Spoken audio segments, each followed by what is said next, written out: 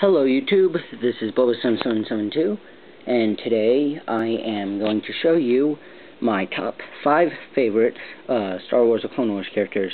So without further ado, let's get started.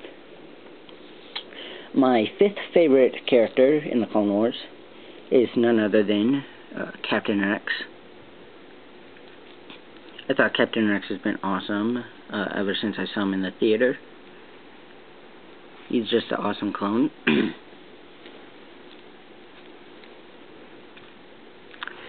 um, next would be Clone Trooper Denal.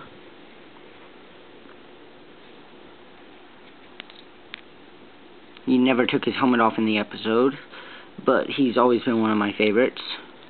He is awesome. Next would be Ahsoka Tano she, I have liked Ahsoka since the Clone Wars movie. I think she's an awesome character.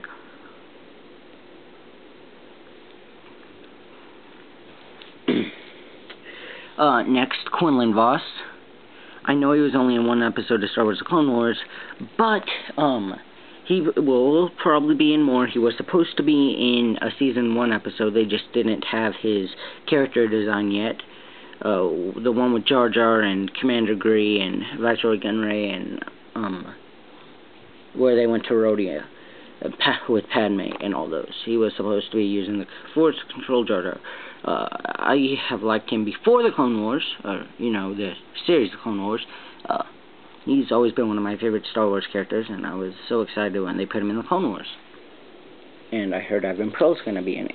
Now, my favorite Star Wars character, who I'm glad was in the Clone Wars, mostly because he got his own action figure, because it kind of broke of uh, the canon a little bit, um, unless you get him out of jail right away, and he isn't seen in the Clone Wars again um, after the episode.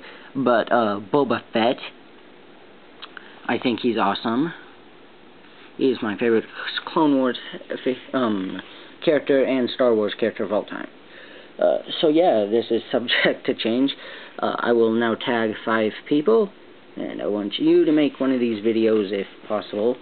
So yeah, thank you for watching, and may the Force be with you. Bye.